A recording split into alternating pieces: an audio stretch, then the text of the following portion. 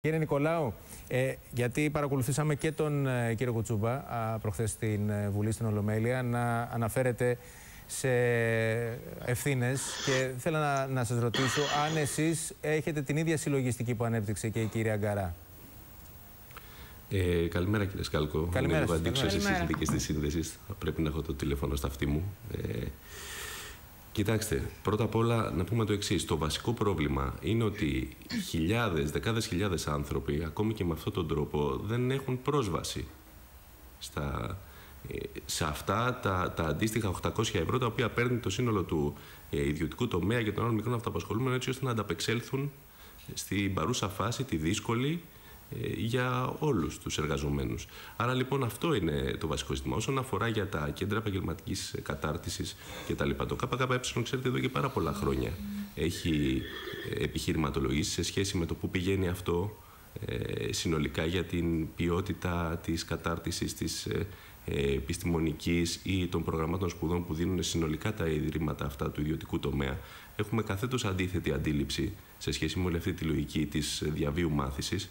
Άρα δεν είναι κάτι το διαφορετικό. Αλλά η πραγματικότητα είναι αυτή. Ότι μιλάμε για μια σταγόνα στον ωκεανό, ότι ακόμη και αν είναι έτσι τα πράγματα, μιλάμε για ανθρώπους οι οποίοι δεν θα μπορέσουν να ανταπεξέλθουν τους επόμενους δύο μήνες με τόσο χα...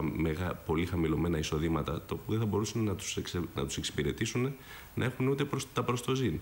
Ε, Κάνοντας ένα βήμα παραπέρα, σχετικά με το αν ε, και τι σκέφτεται ο ελληνικός λαός σε σχέση με τη, και οι εργαζόμενοι, οι αυτοαπασχολούμενοι, οι επιστήμονες σε σχέση με τη διαχείριση συνολικά της κατάστασης από την κυβέρνηση.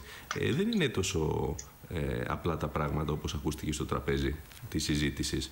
Γιατί ο ελληνικός λαός έχει σημειώσει από την αρχή της κρίσης της υγειονομικής του κορονοϊού που είναι ο καταλήτης μιας νέας βαθιάς οικονομικής κρίσης που έρχεται το επόμενο διάστημα πάρα πολλά αρνητικά σε σχέση με τα, ε, με τα δικά του συμφέροντα και τα δικαιώματα.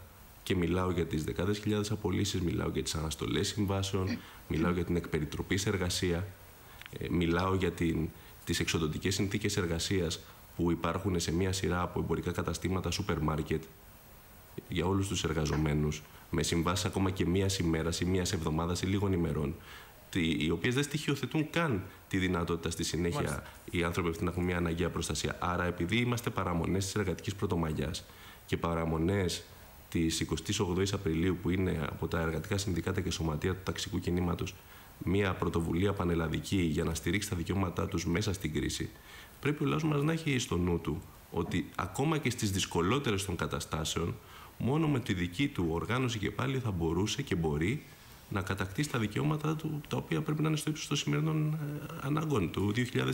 Να πάμε του 2019 και 2018. Κύριε Νικολά, αναφερθήκατε στην εργατική πρωτομαγιά και εδώ είναι ένα από τα πολλά ερωτήματα που έχουν τεθεί. Πώς θα εορταστεί η εργατική πρωτομαγιά εν μέσω κορονοϊού, εν μέσω περιοριστικών μέτρων και με τον κόσμο να πρέπει να αποφεύγει τον συγχρονισμό; Ε, επιτρέψτε μου ένα σχόλιο και θα έρθω και σε αυτό. Βεβαίως, βεβαίως. Ε, χρειάζεται με καθαρή ματιά να δει και ο ελληνικός λαός ε, τη τακτική που ακολουθεί η Νέα Δημοκρατία αλλά και ο ΣΥΡΙΖΑ και σε, στο εθνικό και στο ευρωπαϊκό επίπεδο.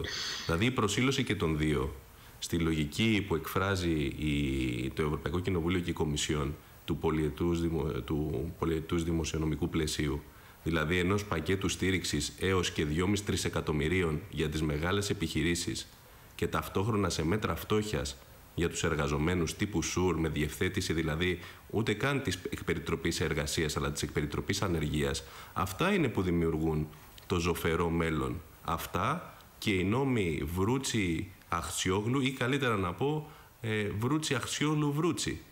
Αυτά ζουν οι Έλληνες εργαζόμενοι, ο ελληνικός λαός. Και μάλιστα φαίνεται ότι δεν υπάρχει ούτε από τη μία πλευρά ούτε από την άλλη, γιατί και η Νέα Δημοκρατία και ο ΣΥΡΙΖΑ βασικά συμφωνούν στο πώς θα προχωρήσουμε από εδώ και πέρα.